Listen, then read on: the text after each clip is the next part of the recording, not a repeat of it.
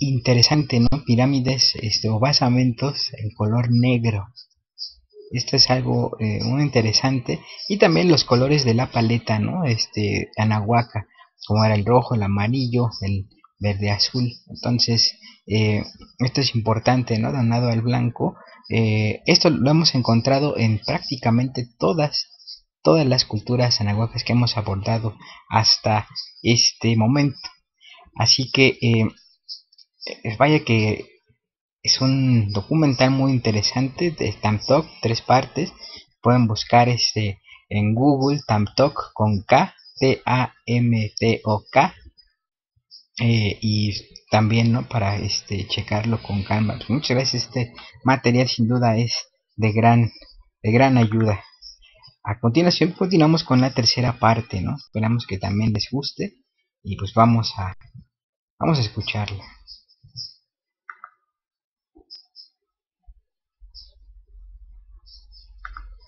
Postado sobre el monolito 32. Esta área nos está marcando por un lado el paso del sol, ya que el sol nace en el este, donde inicia esta banqueta, y viene a terminar en la parte de atrás de este basamento. Sería eh, de alguna forma el camino del sol hacia el inframundo. Si nosotros observamos se trata de tumbas circulares, pero tienen clavada una lápida o una piedra al centro que sobresale. Entonces él cree que esas lápidas también puedan haber tenido estuco y algún tipo de mensaje, así como lo hacemos nosotros eh, con nuestras lápidas, que también sean lápidas funerarias, que tengan, hubieran tenido ahí alguna información. Aún no se ha excavado, no. Se, piensa que hay solamente mujeres, se piensa. Y personalmente a mí me llama mucho la atención las estelas que están señalando cada uno de los entierros. Es el equivalente de los mausoleos actuales en los, en los cementerio, ¿no? Sensacional. Y a lo mejor tenían pintura y tenían algún signo que mm, diría el personaje tal, tal, yace aquí. Poco podemos decir ahorita sobre eh, alguna posible relación con fenómenos astronómicos. El monumento 32 es esta gran escultura que tenemos al fondo. Se trata también de una roca arenisca, 7 metros de largo, 4 de alto, cerca de 30 toneladas de peso. En este caso, cuando la encontramos, fue en febrero del 2005. Todos los monumentos y edificios eh, en Mesoamérica, evidentemente no todos, pero un cierto conjunto de ellos que están orientados, tienen que ver precisamente con lo que sería mm, la sucesión de estaciones del año, eh, lo que tiene que ver con el movimiento aparente del Sol. Eh, existen otro tipo de monumentos que nos llevan a hacer interpretaciones asociadas con planetas o bien asociadas con grupos de estrellas. Digamos, lo común es siempre hablar de los ciclos agrícolas, los ciclos de caza y recolección, que eventualmente, a mi modo de ver, desde el punto de vista personal, es que la construcción del calendario mesoamericano proviene de estas etapas de los primeros hombres que habitaron Mesoamérica. Tenemos eh, representada a una deidad, ya que si nosotros observamos en esta pieza, tenemos la representación de tres mujeres, dos de ellas las de los lados y más pequeñas decapitadas, y la mujer del centro. Estas tres mujeres están paradas sobre tres cráneos o tres calaveras. Esas calaveras nos harían referencia al inframundo, la región que se encuentra bajo la tierra, la región de los descarnados, que es ahí a donde vamos a ir a vivir una vez que termine nuestra vida terrestre y vamos a perder la carne. De ahí que se represente con cráneo. Luego, las tres mujeres nos representarían el plano terrestre, donde vivimos los seres humanos. Estas tres mujeres, concretamente la central, es la, principal, se nutre de la sangre o líquido precioso que brota del cuello de las decapitadas. Es una, una gran lápida que está perpendicular y que está mirando al norte.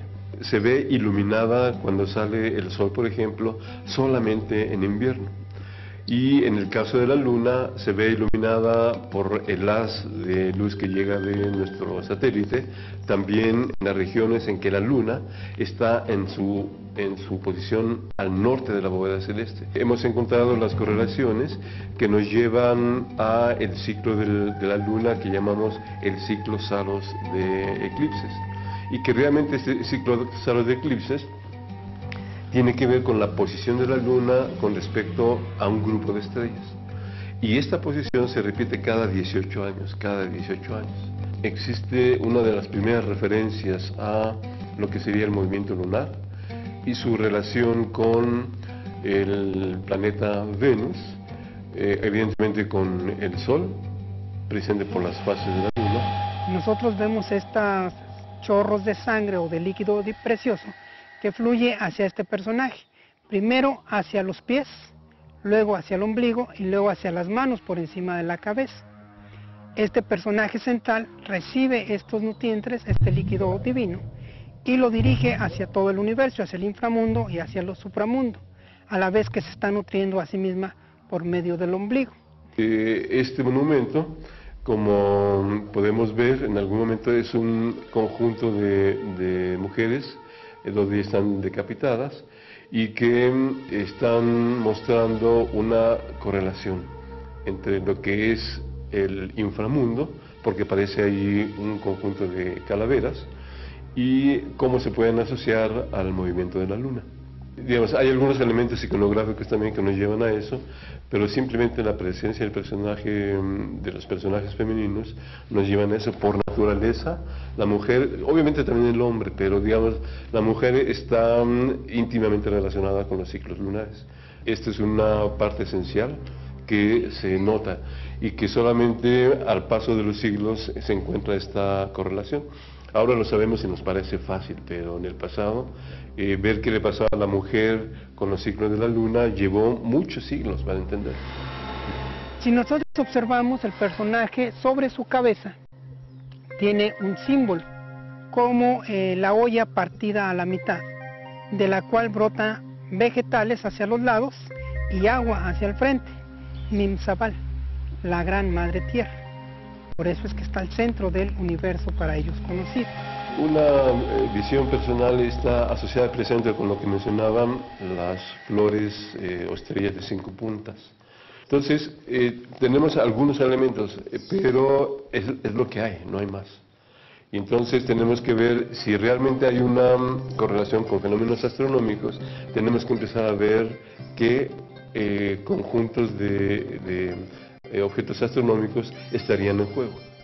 Entonces, la posición de del monumento 32, su orientación ya nos está diciendo algo. Tiene que ver precisamente con lo que sería mm, la sucesión de estaciones del año, eh, lo que tiene que ver con el movimiento aparente del Sol. Y por último, en la parte superior, vemos una serie de símbolos. Están divididos en 13 símbolos diferentes, en 13 sectores. 13 es el número de meses que tiene un año lunar. Si nosotros tomamos el número 13 como eh, número lunar y vemos los elementos femeninos, elementos de fertilidad, como son las mujeres, mujeres que eh, por lo menos la central nos marca unas caderas muy anchas, símbolo de fertilidad, la eh, presencia muy clara de los senos, también símbolos de fertilidad, nos reafirma que esto es un calendario de tipo lunar. O del monumento 32, nos lleva a que en el pasado hubo una estructura mm, social bien desarrollada. Y el desarrollo del mismo sitio nos lleva a pensar que hubo una ingeniería bien desarrollada. La industria mesoamericana, voy a hablar así, la industria mesoamericana, la ingeniería mesoamericana, la astronomía mesoamericana, la lengua mesoamericana, muy bien desarrollada.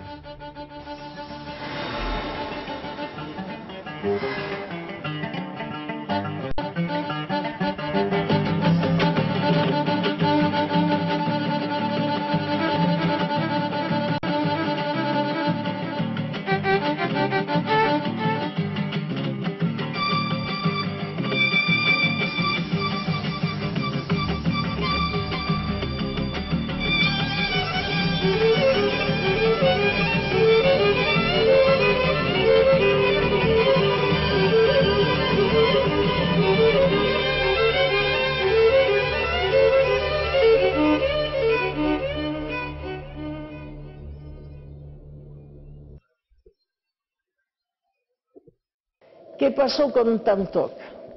Cuando empezamos la excavación.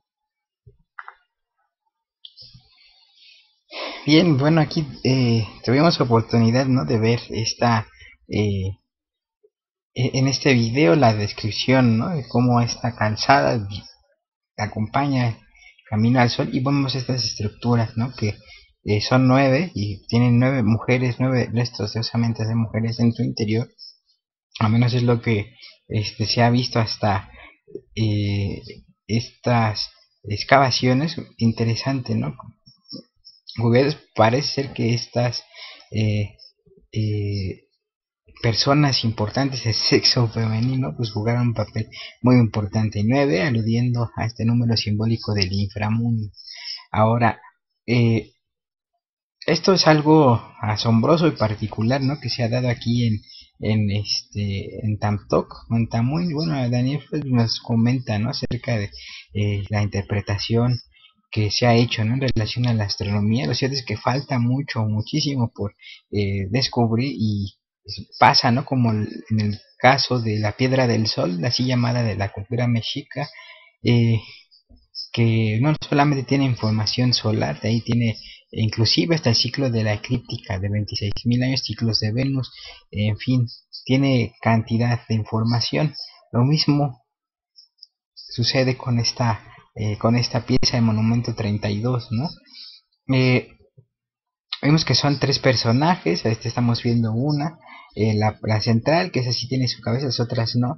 Importante, es una imagen simbólica, no hay que tomar este de forma literal, ¿no? De que sean dos sacrificadas, que, se, les cortaban la cabeza para alimentar de sangre. No, son símbolos. Entonces, vamos a partir desde esa eh, premisa para eh, acercarnos, ¿no? Más hacia este, eh, hacia esta cosmovisión, ¿no? Que es común en las futuras de Anáhuac. Entonces, interesante, ¿no? También vemos que abundan estas eh, construcciones, estos basamentos circulares. Eh, Dani, eh, también es importante no tener en cuenta que no solo la, el calendario tenía función agrícola o hasta de casa, no, no, no, esa es, también un dogma, un prejuicio, porque de, de, ser eso no tiene por qué ser tan complejo, ¿no? Como lo es.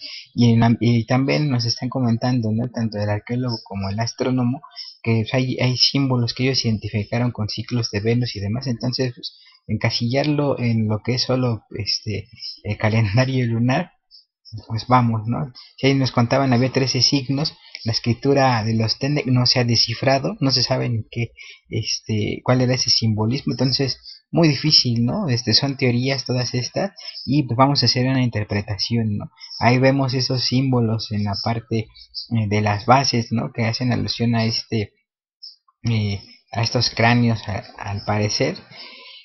Eh, y pues bueno, hace alusión también al inframundo, pero vemos en la... Vamos a, vamos a pausarla aquí es interesante contemplar la pieza del monumento número 32 eh, para observar el siguiente punto. ¿no? Recuerda que también los símbolos son muy semejantes. Eh, estamos viendo estas bandas cruzadas, ¿no? que son símbolos de la eclíptica, probablemente alude ¿no? a solsticios, equinoccios en la parte central también la posición que tiene el personaje eh, central, esta mujer con caderas amplias, eh, lo que nos está sirviendo de referencia, ahí tiene la postura de un cargador. Recordarán este, en las sesiones que tuvimos de Tula y también este, con los mayas, Tula Shigogotitle con los mayas o Itzaes, eh, es un símbolo, ¿no? Que se, ese cargador, este, que tiene las manos hacia, hacia, arriba, sosteniendo el topan, la parte superior, y pues bueno, todo su cuerpo anclado, este, con el ombligo,